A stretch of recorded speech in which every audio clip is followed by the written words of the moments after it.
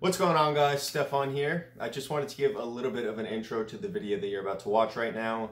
This was recorded late December last year, so right before the new year. Originally, I didn't have any intention of putting this up. This was kind of just for myself, just putting the camera down, talking about what's on my mind, speaking off the cuff. But it's come across my mind that maybe I should put this up for you guys to see. This was during a very hard time in my career, my life. Um, for those of you that have been following the channel for a while now, You'll know that uh, a little over a year ago, early 2019, I made a video titled Saying Goodbye to England, um, basically leaving before the season ended, coming back to America, hoping to pursue some opportunities here.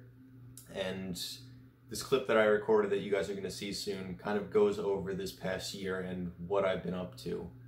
Uh, I think it's important to see the mental side of a footballer pursuing a contract, pursuing that next contract, and just how difficult it is. Um, I don't think it's talked about enough.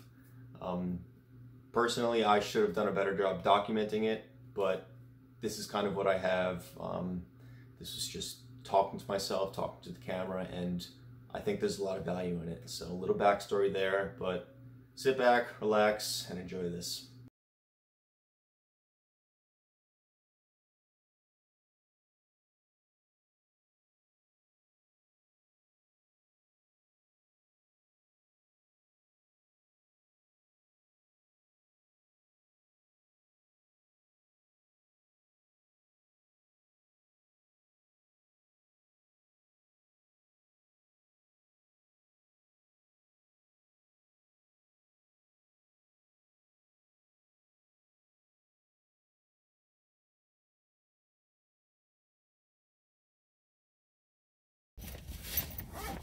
So first off, I have no idea if this is going to be turned into a video or not, or if this is just me rambling and venting.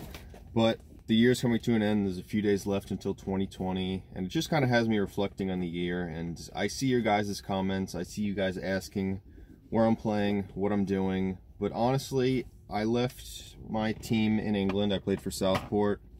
My contract was up um, January 19th, 2019 so there's a couple days until January, so it's been nearly a year. So what have I been up to? Honestly, not a whole lot. I'm not playing anywhere right now, and I'm just gonna talk. I'm at the field right now. It's eight in the morning, just while I get ready to go out. Um, but yeah, it's been over 11 months without playing for a team. I originally left Southport. I turned down a contract until the end of the season because I left midway through the season because I wanted to come back to the United States to pursue opportunities in the USL and try to play here a little bit closer to home.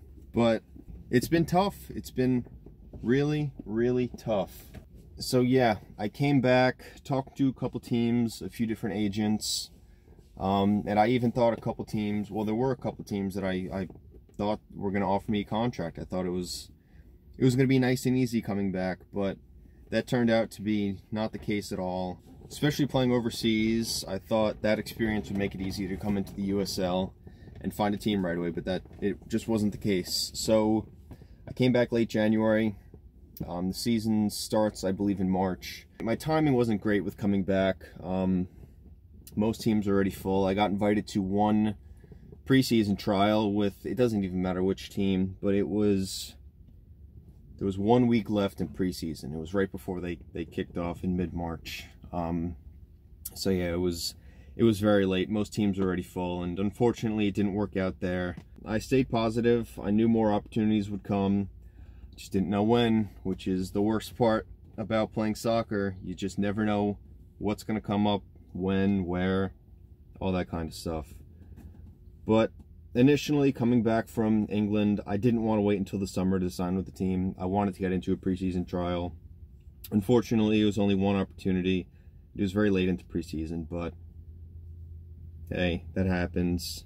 But after that trial, the season kicked off, and I'd figured I'd have a bunch of opportunities come summertime when teams kind of find their form, figure out what positions they need, all that kind of stuff. But I waited months and months training every single day. You guys see what I do. I don't just pop out to the field to the gym every few weeks to uh, to make a video. This is what I do every single day. And like I said, it's 8 a.m., it's cloudy, it's dark, it's raining, it's windy. But I continue training, just waiting for opportunities to come, talking to my agent, seeing what came up through the summer. I had one more trial, but it was late towards the end of this past USL season. Um, and yeah, it, it just it didn't work out again. Um, I thought I played well. I thought I had a good chance, but unfortunately, it's just not what happened. So that was probably six, seven months after being back already. But yeah, we're on over 11 months now. It's towards the end of December. Um, yeah, it's honestly, it sucks. It's depressing, but this is kind of what I signed up for. But, and it honestly, it's tough to stay positive. Um, it's been, like I said, a year since I last played with the team. Um, I feel sharp. I feel like I'm ready, but yeah, it sucks. But this is still why I come to the field and train every day. Just waiting for that opportunity to come. Preparing myself because I know it can pop up at any time. Fortunately, it hasn't yet. Um, but I don't know. I just have I have this drive to continue on. I try to stay positive as much as I can. The downtimes are terrible. It honestly it sucks, but I try to stay positive. Just continue staying active, preparing myself for whatever comes next. Because as much of a uh, down point this has been so far, I know there's always positives to come. It's, there's ups and there's downs. I've been through these low points before, very low points that I'll definitely talk about later on future videos if this even goes up, I don't know. That's kind of what's been going on the last year. It's getting to that point where preseasons are starting again, waiting and hoping for the best.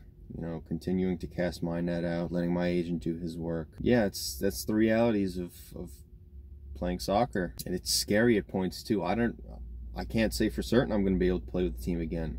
I hope so. It's why I come to the field and train every day but nobody knows for certain.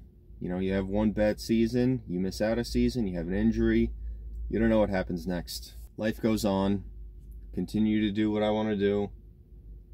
And uh, just train hard and focus. Just keep my head down. It's kind of what I've been doing the last year. Yeah, coming back from England, I didn't think it would be a year. I didn't even want it to be four months to wait till summer, but look where we are now. I just try to keep my mind in a in a good spot and just control what I can control. And that's it's just the work that I put in. Enough with all that. Let's get a training session in. It's raining, so I'm not gonna bring the phone out to film it. But yeah, just wanted to record that.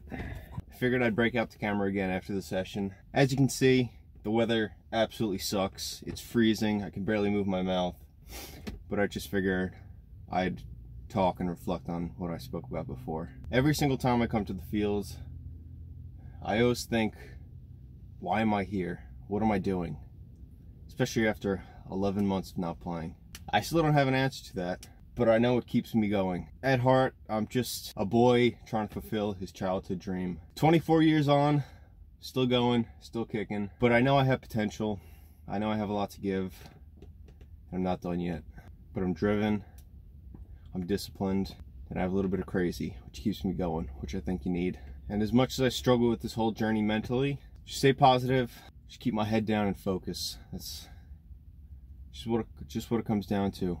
I don't know many other people one year on that would still be coming to the field every day, training by yourself, going to the gym, coming out in the shit weather, all for something you don't know if it's going to happen or not. But I guess a little unique in that way, whether it's a good thing or a bad thing. Journey's not over. Because I know all the hard work I put in the past year, something good will happen. And then it'll all be worth it.